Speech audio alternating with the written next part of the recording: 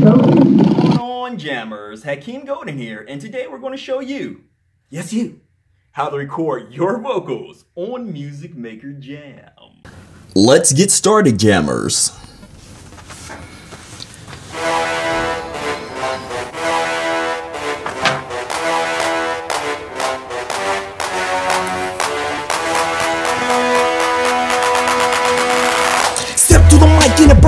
Flames Everybody around here knows my name. How many times can I change the game? How many times can I bring the pain? I'm gonna make it rain but I'll still be hot. Told y'all before that I just can't stop. Everybody waiting on my album drop. One time for my man the Fox. Magics loudly I rep that proudly. Keep those Bitcoins stacked Cause I gotta get the brand new pack. Gotta get I'm back Go ahead and check these facts Fact 1, I'm a legendary king Keep it 100 for my legendary team. Fact 2, I'm vicious vibing. Whole crew hungry, we still surviving. Fact 3, one sound, one fam. Rapping music, make it jam.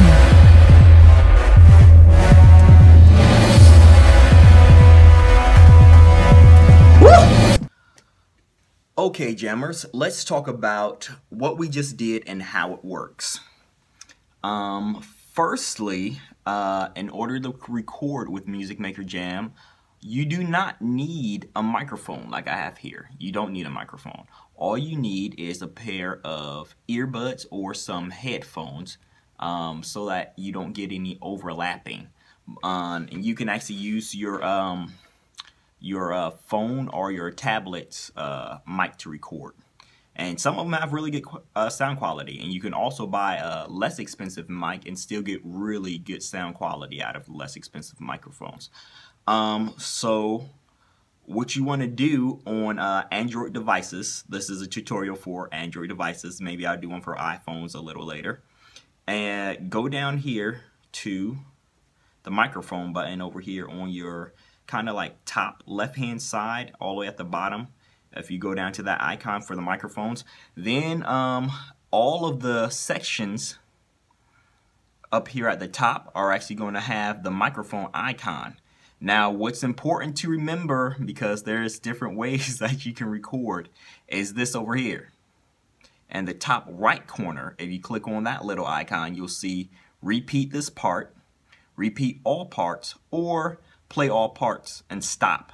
Now, that's what I used um, because I, I, like to uh, record either 8 to 16 bars at a time but it's a lot easier just to record four bars at a time.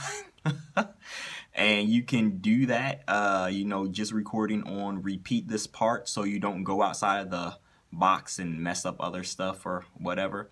But um, how the recording works is when you hit this little icon right here, it's going to do a countdown. It will not record until after the countdown has finished. So let's hit the button. Now it's recording. You see? you see how the um, music actually kicks in when it starts recording? Or that's your cue to actually, you know, start singing or rapping or spoken word in literature.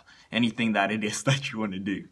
So um, if you put it on, like I did, play all parts, it's actually going to um, play all parts, of course but it will always record in the exact same spot. I mean, if you're looking at this, it's always going to record in the exact same spot. So if you have any other instruments right here on your uh, other uh, bars or your other um, spots, I'm not, sorry, I don't know what you call them. um, it will record over them. Any instrument that's in this section that you start recording over, like uh, let's just look at this, um, for instance, uh, this Epic Swag F. If we record right here, of course it'll give us the countdown. And let's pause it. And you see that will, it's disappeared. Hope you guys are catching that. And now is the recording that we just recorded.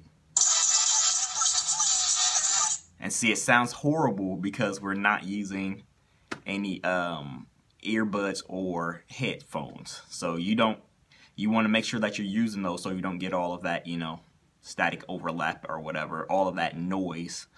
Um, but um, that's basically the long and short of it, guys. Um, if you're having latency issues, let's cover that real quick because we have time. If you're having problems with, you know, um, you can never get on the beat, it sounds like it's lagging behind, just go out here and uh, go to your um, settings icon and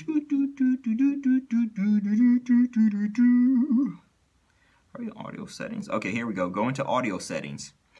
And the easiest thing to do is hit this down here at the but at the bottom that says estimate estimate automatically. When you hit that, it's going to tell you to unplug your headphones and everything, and you hit that, and it'll line it up for you automatically. If you're still a little off and you're sure that you know you're getting a little lag time doing recording, then you're going to want to play around with this area right here. See if you can um, tighten it up a little bit. See if you're a little behind or a little before. But this is where this is the area that you want to be in. Go into settings, go into audio settings, and usually the the autos work perfect perfectly for me every time.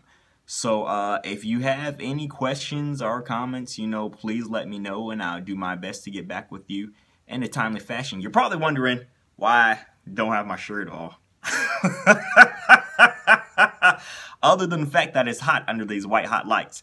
Um, when I sing and stuff like that, uh, I can be wearing anything, but whenever I rap or try to go beast mode, I gotta take my shirt off. so another tip, you know, whenever you're singing or rapping or literature, make sure you're comfortable because it's going to be a lot easier.